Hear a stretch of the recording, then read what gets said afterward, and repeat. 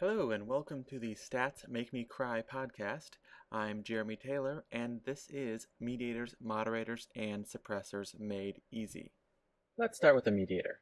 Say we have an independent variable that seems to be related to our dependent variable, but not necessarily directly. Instead, the independent variable is related indirectly to the dependent variable through a mediator. Here's an example. Let's pretend that someone gave you an awesome Les Paul guitar. Then, shortly after receiving the guitar, someone came along and gave you an extremely lucrative record deal. Show me the money. Now, does it seem likely that just receiving a Les Paul guitar would directly lead to you somehow getting a lucrative record deal? Hmm, probably not. So, there must be some other factor or variable that explains why it led to a record deal. What are we talking about? Practice? Perhaps receiving a super awesome Les Paul guitar makes you really motivated to practice a lot. And practicing a lot eventually got you that super lucrative record contract.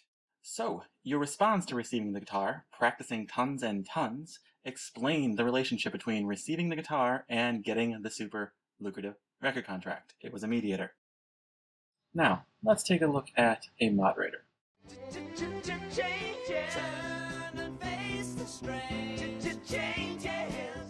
Once again, we have our independent variable and our dependent variable related, and still a third variable acting on that relationship. But this time, instead of explaining, it is changing. That is, it is determining the nature that these two things are related.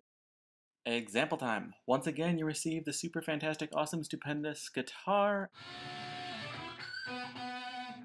and the high dollar record deal. Show me the money. However, new twist time. Let's say that not everyone had that direct link between getting a guitar and signing the deal. Some people did, some people didn't. So, what was it that determined whether getting a guitar for someone was going to lead to the record deal? For the purposes of our example, we're going to say it's high musical aptitude, or having the right genetics, having good genes, if you will. Not those genes. There you go, those genes. The right DNA. This was going to determine whether or not getting the guitar was going to result in you signing that mega contract. Before we move on, I want to make one final note about moderators. Notice the difference here from mediators. If this were a mediator, that would be to say receiving the awesome guitar was going to result in you having the right genes or the right DNA, which would then result in signing the record deal. However, clearly you had that DNA or didn't long before you received that guitar. In fact, you could say that having those musical genes are what determine whether or not getting the guitar translated into getting that record deal. So, not to belabor this point, but it's important, so I'm gonna. Moderator, good genes, changes the course of what happens as a result of getting the guitar. Mediator, practice, is what happens as a result of getting the guitar, and shows why getting the guitar leads to something else, like the record deal. Okay, next, sneaky little suppressors. So, while mediators explain and moderators change, suppressors can be said to reveal.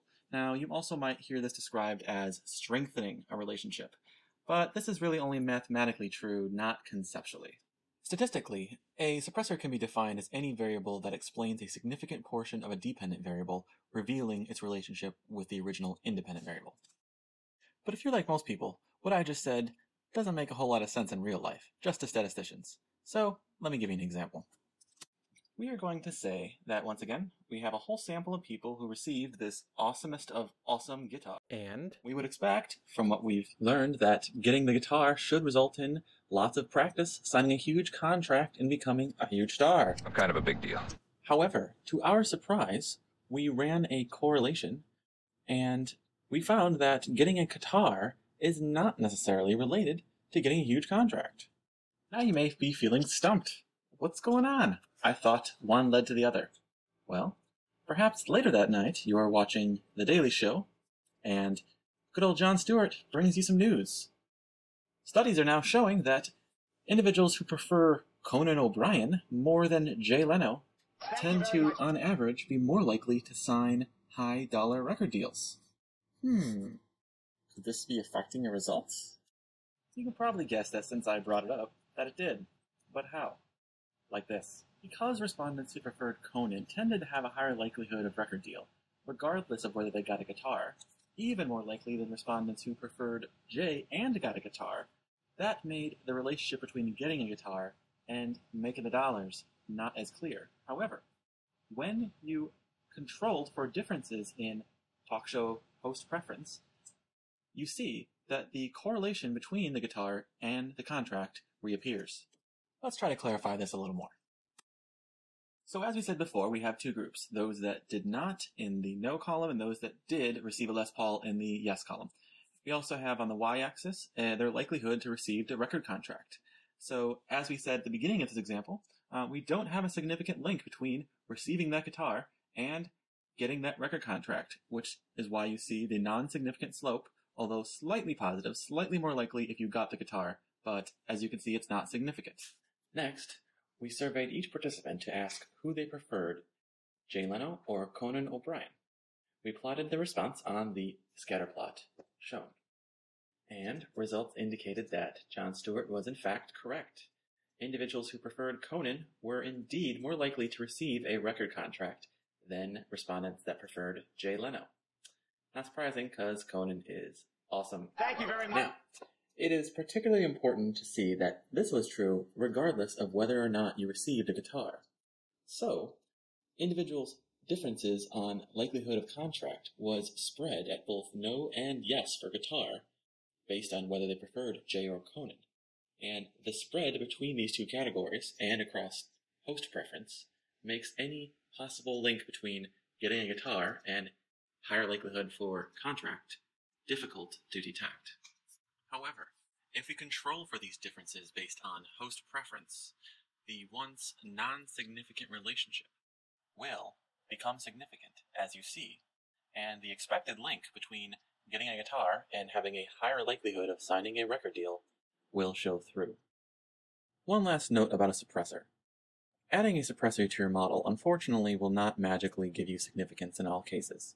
A significant effect will only emerge if one truly exists that's being covered up by a suppressor. When no underlying effect truly exists, controlling for the effects of suppressors will not change the significance of your relationship. As you can see, when the effects of a potential suppressor are controlled for on a non-significant relationship, the group differences disappear, but the graph simply just shifts and condenses, but the strength of the association does not change. Now at this point you may be thinking, didn't you say the relationship strengthens? Doesn't strengthen mean change? And doesn't change mean a moderator? Well, if you thought that, you'd be correct.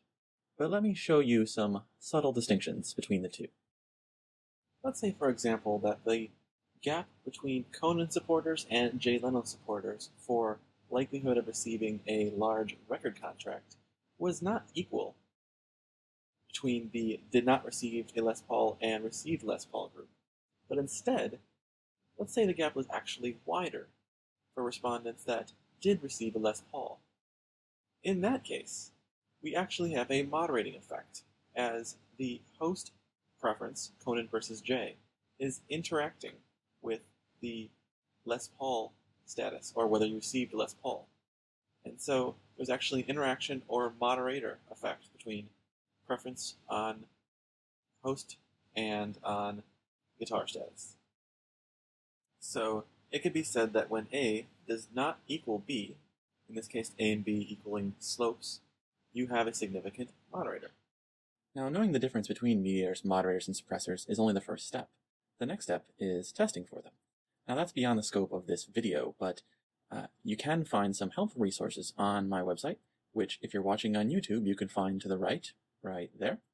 Or if you are on our site already, you can also find both. So thank you for watching the Stats Make Me Cry podcast. This is Jeremy Taylor, the Stats Make Me Cry guy. Don't forget to check out our website at statsmakemecry.com for useful blogs, user forums, and some fun stuff as well. See you next time. I'm George W. Bush, and I approve this message. In fact, I think it is awesome.